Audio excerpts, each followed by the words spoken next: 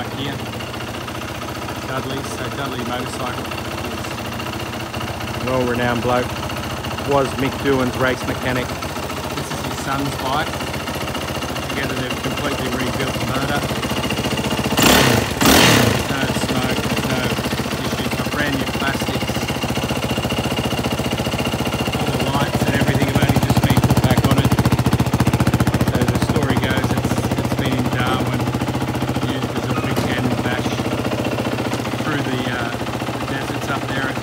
times when he was in the army. That was it.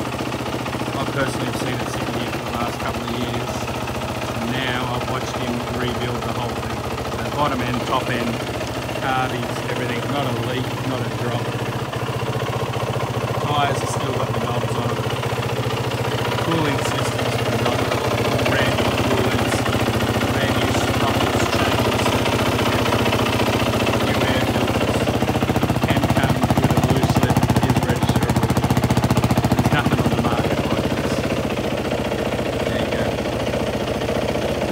800